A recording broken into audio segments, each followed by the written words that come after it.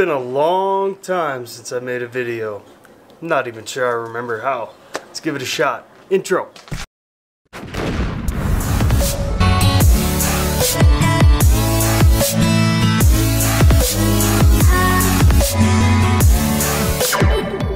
What's going on guys and welcome back to the Big Apple Ranch. Today I got a little bit of a different video for you. As you can see we're in the garage, we're not at the range. I haven't gotten any new guns lately but I did get something else. So let me show you the newest addition to the Big Apple Ranch motor vehicle family.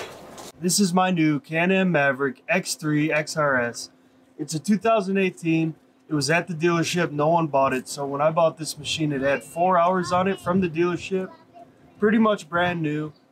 So I sat in this particular machine probably a dozen times. Um, the dealership is right real close to my work. So every time I would drive by and had some free time, I'd stop, I'd sit in the machine. I'd, they also had some Polarises and stuff, so I'd sit in the razors and all that. But this machine fit me. I wanted this machine for a long time. Finally came together with the salesman and made it happen. So I've only had this machine for about a month or a month and a half. I haven't put that many miles or that many hours on it, but I've owned it long enough to know that there are some things that I really, really love about it, and there are some things that I think Can-Am could have done better with. Um, so I'm going to give you my little beginner's pros and cons to this Can-Am today. I'll show you a few things I've done to it that were done to it, and uh, I'll show you some riding video. I got a new video series I'm thinking about making. It's uh, I'm gonna call it the Road to Moab. Me and the family were planning a trip out to Moab here in about uh, four months. We're going to May for Rally on the Rocks, and neither machine is ready. We're going to be bringing both. Now the machine's ready. I need some street legal stuff. I need some tools. Uh, I need some safety equipment. I need some other parts. Uh, neither machine is really ready, so I'll do a Road to Moab video series where I'll take you through, kind of show you what I'm doing. Every day's off, every three weeks. And then uh, I'll take you to Moab and I'll show you, it's going to be a week long little adventure for the family. We're gonna have a blast, so I'll take you there. I'll show you what goes on every day of the trip, and uh, it'll be a blast. We're gonna have a good time. There's some logistics I still need to work out as far as how I'm gonna haul two machines down there on an 18 foot flatbed, but we'll get there. We'll get covered. That'll be part of the Road to Moab video series. We'll deal with that in a bit. So, let me take you around the machine. Let me show you a few things that I've noticed that I either really love or really can't stand. I'm gonna go handheld for a few of these shots. Usually I do everything off of a tripod, but it's just gonna be easier to show you around the machine handheld. And I got the OG Canon lens on there. I took the Tamron off, so. All right, so to start with this machine, one of the things that I absolutely love about it is the exhaust. I don't know why, I just love how the tailpipe comes right out of the center of the muffler, right out of the center of the machine. Something I love. Uh, really small detail, I understand that, but I love the aesthetics. I love the way the machine sits. I love it, the, the way it looks, the accent lighting, the headlights. It's just a mean looking machine, you know. Um, I guess uh, if I had to compare it to, to anything in the automobile industry, it'd probably be like super comparable to like a pre-runner as far as the aggressive look and what it looks like it's capable of doing. Uh, another thing I love about this machine is the adjustability of the shocks. Now that might be pretty much standard anymore, but you've got two different rings. You can change your crossover adjustment, which the rears are pretty much all the way down. Um, or you can change your mainspring height, you can change your compression, you can change your rebound, you can change your, and the compression's got a high and low speed. I mean, it's just super adjustable. So when, this being a 2018, when it came from Can-Am, it had the Can-Am tune in it. So I went through, downloaded the Fox tune, and went through and readjusted all of the suspension so it's got the Fox tune in it. Another thing that I really really love about the machine is beadlocks. Beadlock rims just from the factory. I'm a fan of beadlocks. I know a lot of people say uh, if you if you go down on pressure, say you're at the dunes and you pressure down your tires some and then you go to fill them back up, the beadlocks never really seal again and you start losing a lot of air. I don't do a whole lot of sand dune driving, so it's not really a problem for me. Another thing I really like is the cockpit. So when you sit in this machine, it just feels, it's a hard to describe feeling. Um, I sat in a bunch of razors and one of my neighbors has a razor and I drove it. it's not that I hate the razor, it's just that it feels like it feels like a how would you how would you explain it? It feels like a golf cart. You know, you're sitting up. It's not really relaxing. Some people find that comfortable. I know my wife prefers to sit up. She wants to see the front of the machine as well as she can. She wants to see the front tires. And there's there's an argument to be had there. But all this sitting back like this in the cockpit, all it takes is uh, some getting used to, I guess. Um, I grew up around race cars. I grew up around race carts. Pretty much everything we had was sat back you were sat back in the machine like this. This this feels super familiar to me. I love the push button start. That's a nifty little feature. Fires right up, just hold the button. Uh, the two keys is cool. Um, it gives you the option. I've got the the go fast key here and the restricted key here. Got a buddy, it's not really experienced, you know, you don't want them unleashing the beast, give him that green key and let him go. So let me, I guess, tell you some things that I really can't stand about the machine. Number one, it is freaking squeaky as all get out. They're all squeaky as all get out. I've seen in the last year and a half, two years that I've wanted a Maverick, I've seen a lot of videos, reviews. I watched the side by side blog boys. Leonardo, he's got multiple X3s I think now, but I remember when he got his first X3 and riding it around and it is freaking squeaky, man. His is squeaky, mine is squeaky. A lot of other videos I've seen are squeaky. I've gone through, I've sprayed down all of the suspension mounting points with some dry moly lube. I've tried shaking the machine to find the squeak. I don't know where it's coming from. It's just a squeaky machine. Thankfully, if you're doing any real moderate riding, you you don't really notice. I mean, you got a helmet on, you got your goggles, you're you're doing you know 50s, you're you're sailing through the through the dirt roads, you're sailing through the through the flatlands. I mean, you don't really notice, but if you're trying to do a nice little comfort cruise, you know, 20 miles an hour or whatever, and no helmet, you know, you're just kind of bebopping around, you're gonna notice that squeak. That squeak is super predominant. Another thing that I really don't like about the machine, and it's really not so much on the machine as it is on Can-Am themselves.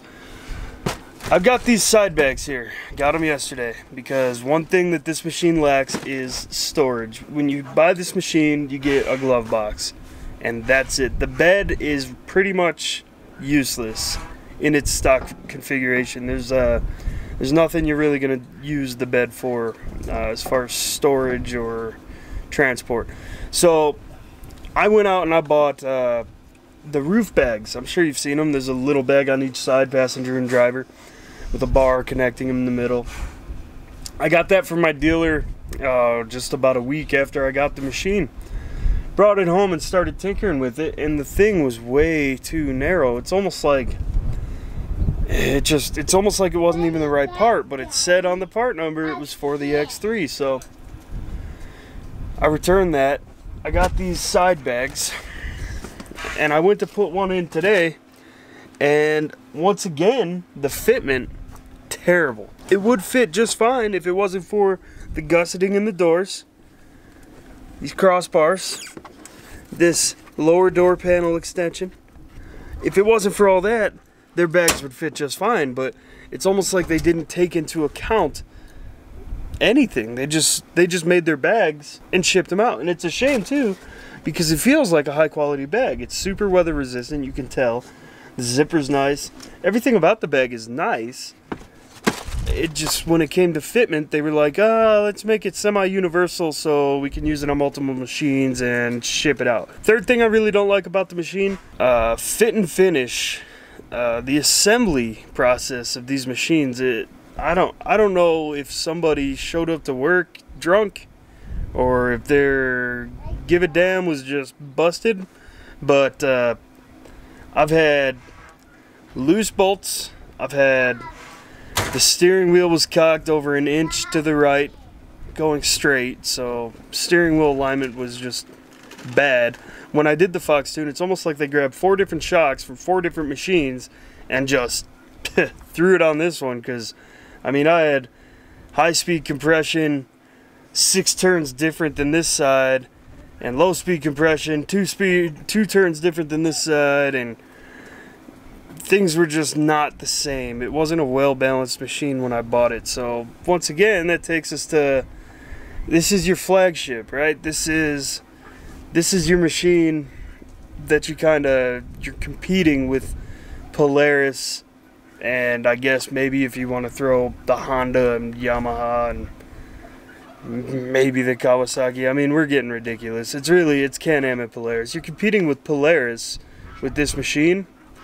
Bring your best bring your best game. Put your best foot forward because Polaris is making some serious advances in uh, suspension technology. They've got their their live command system with their screen and everything. They're making some serious advances, and Can-Am, I don't know, figure out who's assembling your stuff and fire their butts now. Another thing, I changed my oil at 10 hours. The oil filter packed full of RTV. So the guy building the engine must have just went crazy with the RTV. Um, when I say packed full, just more than I would like to see, more for my more than more than what I'm comfortable seeing as far as RTV and a filter. You hate to get that filter gummed up and starve the engine for oil, so I'm glad I changed it.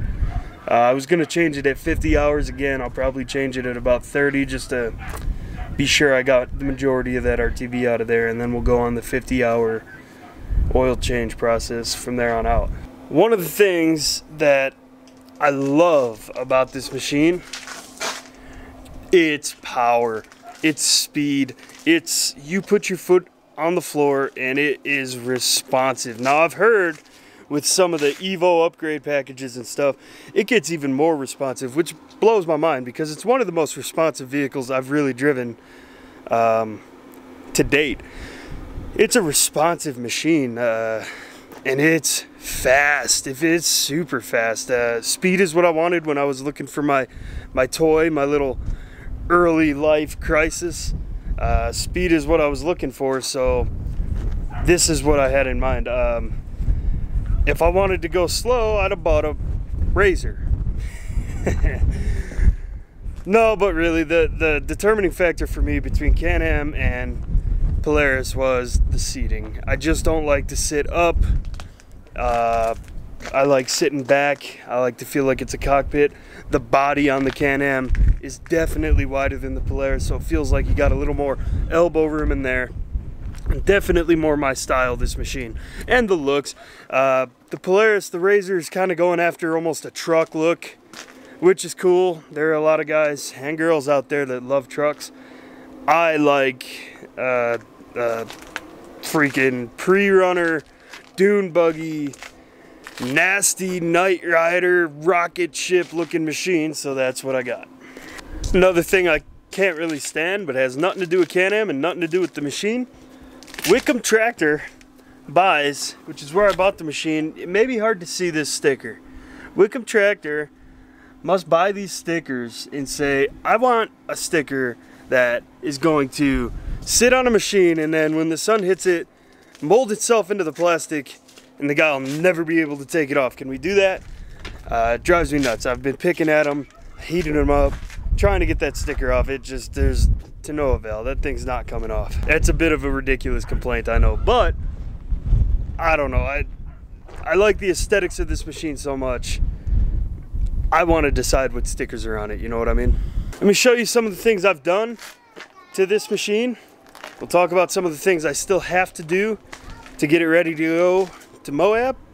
And then uh, I'll cut to some GoPro footage, show you some driving, call this video a wrap. So, one of the things, one of the first things I done ordered was these side mirrors. I noticed that backing this machine up, that rear view mirror, it's uh, it's not flat. So it's kind of an optical illusion. You're backing this machine up and you can't really see where you're backing. And my garage is kind of at an angle to the house. Everybody points their vehicle perpendicular to the house. So I'm backing up into the side of a vehicle. I gotta, I gotta back up carefully. So got these side mirrors. Now they look a lot like Can-Am's side mirrors, but these are the, probably the cheapest. I don't know even the name. They're the cheapest little Amazon $45 mirrors you can get. Did the job, super simple to install. Perfect, I, I loved it. Um, from the dealer, the dealer put on this, this pre-runner front bumper and this winch, which is great. That's great. I, I like the front bumper. I'd like to get the matching rear. I like that everything's orange accented. They also put on these Lone Star Racing rock sliders. These rock sliders, they, they look great. I, I like the machine. Like I said, aesthetics is the main reason I picked this machine. Uh, this one came with a roof. I'm not sure if they all come with roofs. This one did. It's the plastic sport roof. Now back here. Right now, I just put this on yesterday. This is their their bed box. It makes use of the bed that you otherwise wouldn't be able to use. Now, that's a problem. Once again, fit and finish with Can-Am. Uh, it's a really nice box. They've got a waterproof seal in here and the seal does well. I would hazard to say that this box is waterproof, 100%. But because they only use two mounting points on the back two corners and nothing in the front center like they should have, especially since there's a mounting point on the machine right in the front center, what am I supposed to do? Am I supposed to punch a hole in my waterproof box, de defeating the purpose? I mean, they, they really need to get their fit and finish together. They've designed a really, really crazy machine here. They've, they've, they've spent a lot of time and money investing into this machine. Maybe it's time to take some of those engineers and have them make products that don't suck. There's nothing you're really gonna do with this bed, um, aside from you might be able to strap something down in there, maybe a spare tire. You can figure a way to strap it, but it's flat. It's not like uh, like the mule has got a legitimate bed. This is not the same. Put that back on later. Uh, what else have I done? So the whip that's a custom dealie. That's a LED strip with a smart LED controller. It's a Firestik four foot antenna. And I had the Firestik Quick Connect. Do not buy the Firestik Quick Connects if you're going to use them for this purpose. I, I almost wouldn't trust them at all. Uh, going down the road, the Quick Connect just snapped right in half. I wouldn't trust that quick connect from Firestik, so what I did was I rigged up um, a couple of air fittings. A couple of air fit fittings, I had to weld a nut to one.